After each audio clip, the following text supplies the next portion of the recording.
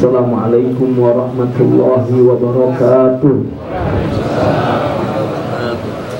Alhamdulillahi Rabbil Alamin Wassalatu wassalamu ala Sayyidina Muhammadin Wa ala alihi wa sahbihi ajma'in Amma ba'du Rabbi a'udhu bika min hamazati syayatin Wa a'udhu bika Rabbi ayyahdurun Subhanaka la ilma lana illa ma'alamtana Innaka antam alimul hakim.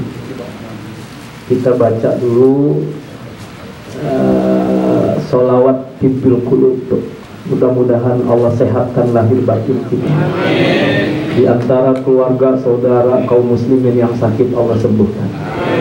Insya Allah semua kita diberkahi oleh Allah. Dirahmati oleh Allah Dan semakin cinta Rasulullah Dan semua mendapatkan syafaat dari baginda Rasulullah Sallallahu Alaihi Wasallam. Allahumma salli ala sayyidina Muhammadin Ibnul Qulubi wa dawaiha. Wa abdani wa sifaiha wa nuril absari wa diyaiha wa ala alihi wa Sekali lagi jamaah majlis sallallahu alaihi wasallam semangat semuanya. Allahumma salli ala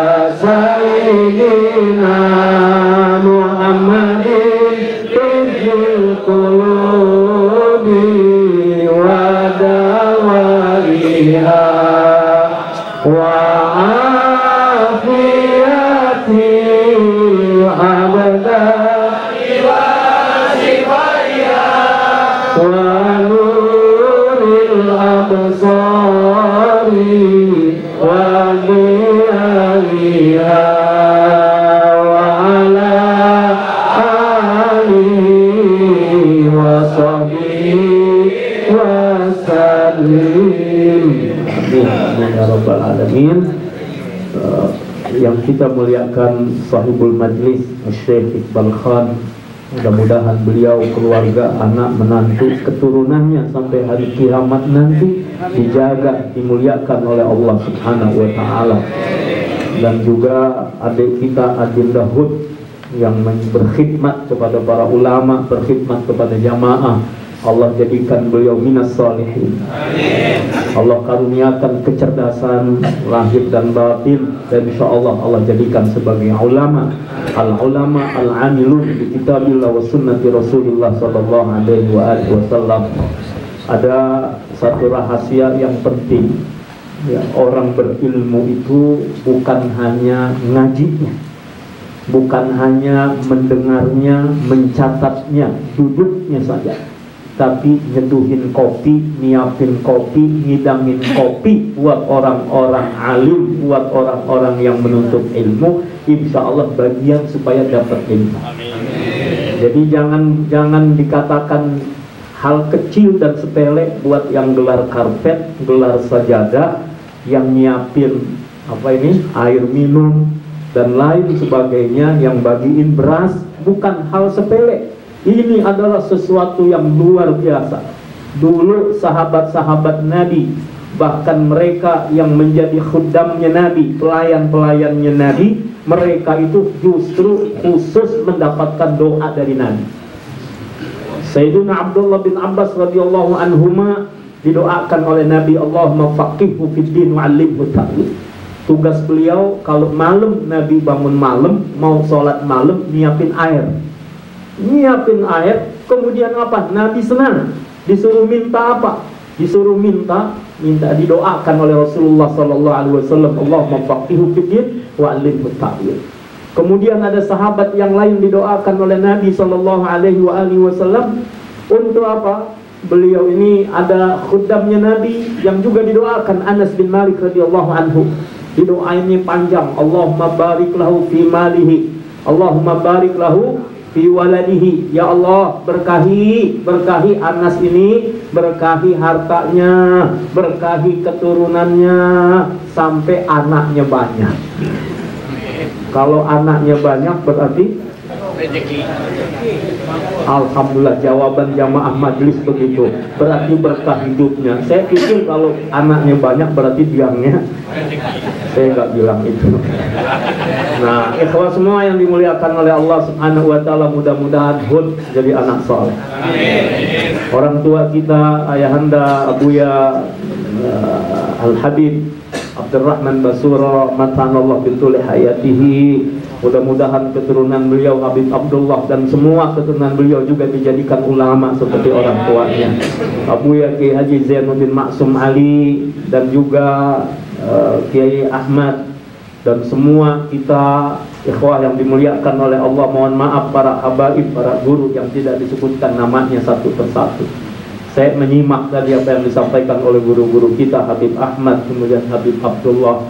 Dan saya ingat baru tadi subuh saya duduk di majelisnya Syekh Nuruddin Marbu Al-Bajari Al-Maki. Ya beliau ngomongin tentang al-ilmu bila amal.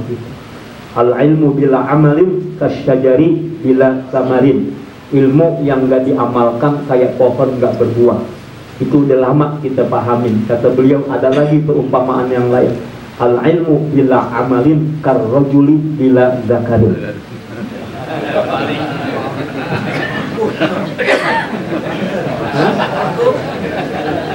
udah yang ngerti aja ya, yang ngerti ya udah pokoknya senyum aja. Nggak usah dibahas. Ya? Oh harus harus dijelasin harus. Karena perintah dari guru gitu ya. Ilmu yang gak diamalkan katanya seperti laki-laki tanpa gituan gitu. Mbak ini candaan tadi beliau supaya suasana seger saja ya. Baik ikhwas semua yang dimuliakan oleh Allah Subhanahu wa taala, tadi kita mengikuti sholat Isya. Kira-kira bacaannya panjang apa pendek? Hah? Masya Allah, semangat semuanya. Allah Akbar. Ya, bacaan surah Al-Kahfi buat orang yang sholatnya nggak semangat, aduh panjang. Baru dengar awat ayat-ayat awal saja masih panjang. Tapi buat mereka yang semangat, buat mereka yang semangat, insya Allah ayat ini justru menjadi gizi buat roh. Yang pertama ikhwah yang dimuliakan oleh Allah belum tentu kita ini keluar dari majelis ini baca Al-Kahfi. Tapi karena imam baca Al-Kahfi mau nggak mau kita nyimak. Dan orang yang menyimak bacaan Al-Quran dia dirahmati oleh Allah. Kalau nggak baca minimal nyimak apa yang dibaca itu aja udah berkah dapat rahmat, dapat rahmat Allah Subhanahu Wa Taala. Sekali lagi belum tentu ulang kita baca Al-Kahfi belum tentu. Tapi jamaah sallallahu alaihi wasallam masya Allah insya Allah. Nggak perlu diragukan lagi. Ini jamaah kafian semua ini. Allahu Akbar. Yang kedua ikhwah semua yang dimuliakan oleh Allah subhanahu wa ta'ala. Ya. Ada hadis diriwayatkan oleh Abu Darda bahwasanya man qara'a ini baru qara'a belum hafizah. Man qara'a asyra ayatin. Ya. Siapa yang baca 10 ayat awal dari surah Al-Kahfi atau dalam riwayat yang lain man qara'at salata ayatin dia baca tiga ayat Al-Kahfi maka dia usima minad dajjal dia akan diselamatkan dari fitnah dajjal. Dajjal yang benar ini kan belum datang. Belum ya? Tapi unasun dajjaluna manusia-manusia dajjal udah mulai kelihatan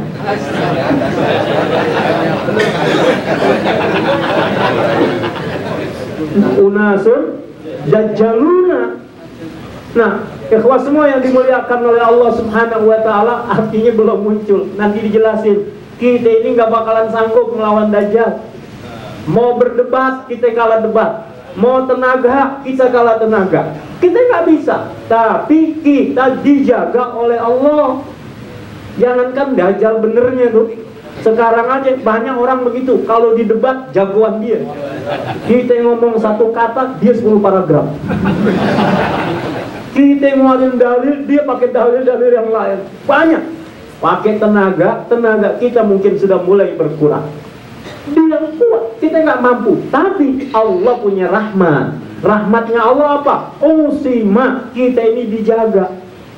Makanya guru kita Kiai Haji Zainuddin Maksud. Insya Allah beliau dijaga terus oleh Allah Subhanahu Wa Taala.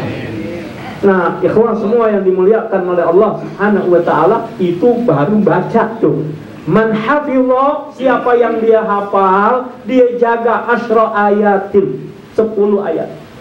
Makanya boleh juga nanti kalau Syekh nanti bikin lagi apa namanya? Bagi-bagi apa namanya?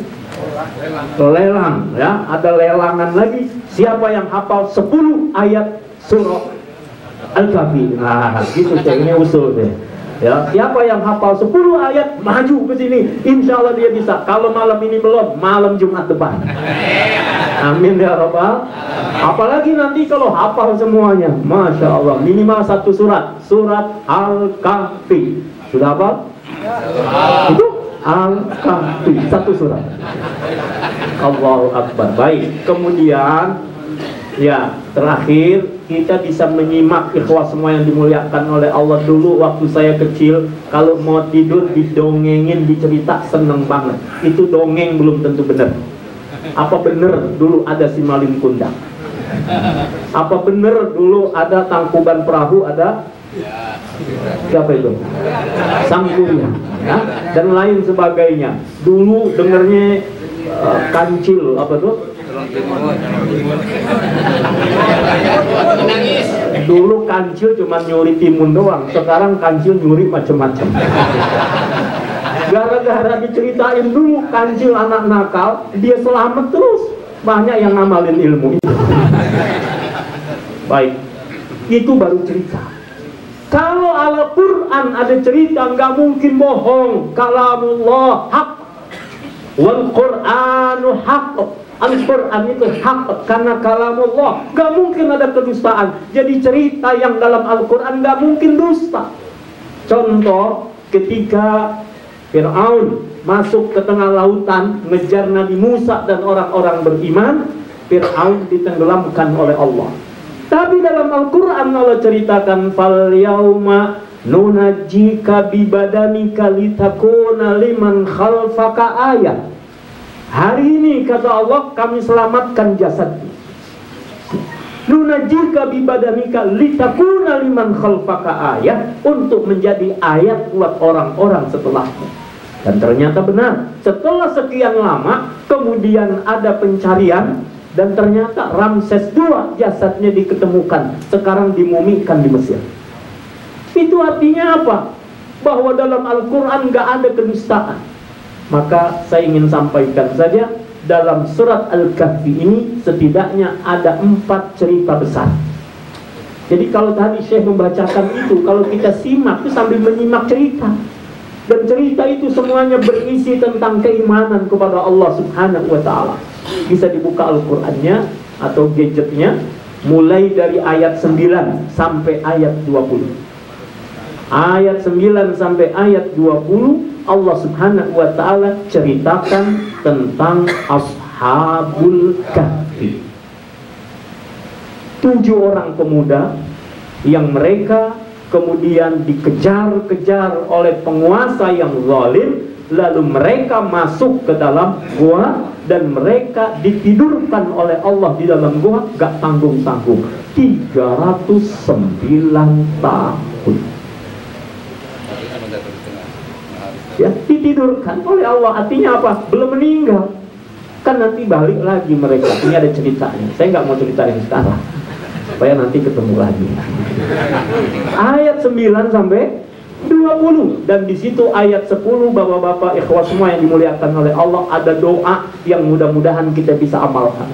Ketika sekarang kita menghadapi kezaliman Ketika sekarang kita mengalami kesulitan, ketika kita mengalami kesempitan, sebagaimana ashabul kahfi kemudian masuk ke dalam goa, mereka berdoa kepada Allah Subhanahu wa taala, "Rabbana atina min ladunka rahmah wa hayyi lana min amrina rasyada." Ayo kita baca baca bareng-bareng. Rabbana atina min ladunka rahmah wa hayyi lana min amrina rasyada. Sekali lagi, Rabbana atina wa hayyi lana min amrina rasyada. Allah bukain petunjuk-petunjuk buat kita. Ceritanya nanti aja.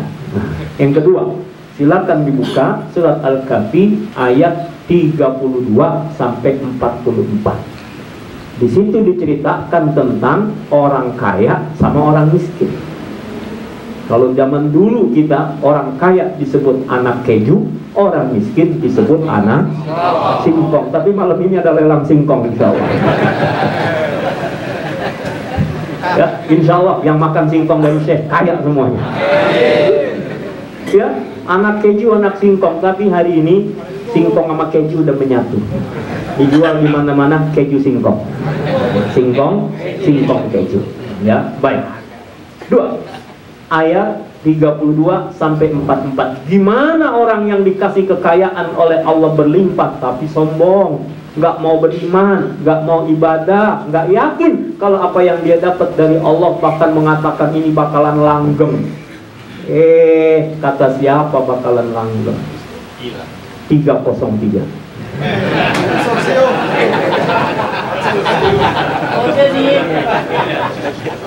Ya, baik. Ikhwah semua yang dimuliakan oleh Allah Subhanahu wa taala. Dua. Ya. Yang ketiga, dalam Al-Qur'an surah Al-Kahfi juga ayat 60 sampai 82.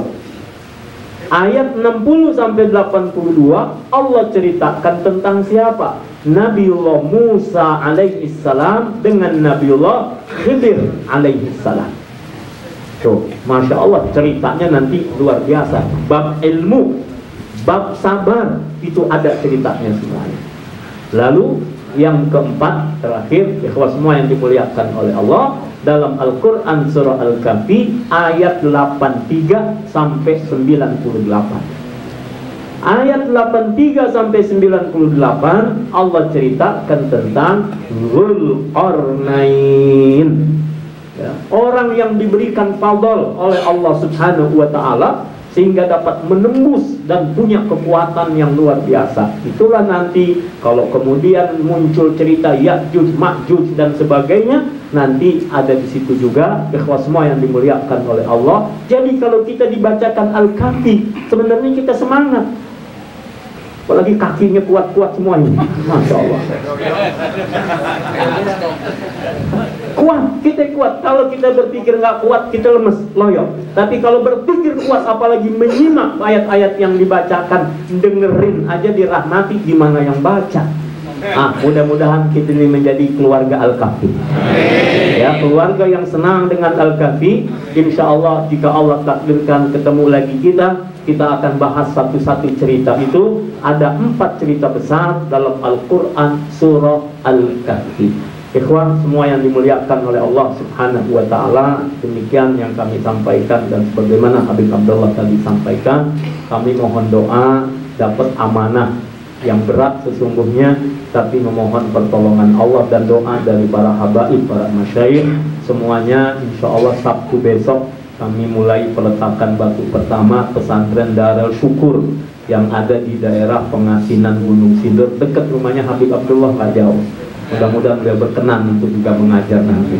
Ya di daerah sana lahan 4.500 meter wakaf dari hamba Allah keluarga almarhum Pak Haji Herman Susanto seorang mualaf ya yang masya Allah hartanya dia gunakan untuk mencari ridhonya Allah Subhanahu wa taala. Mudah-mudahan Allah ridho diterima oleh Allah dan jalan buat mengundang rahmat kasih sayang Allah Subhanahu wa taala.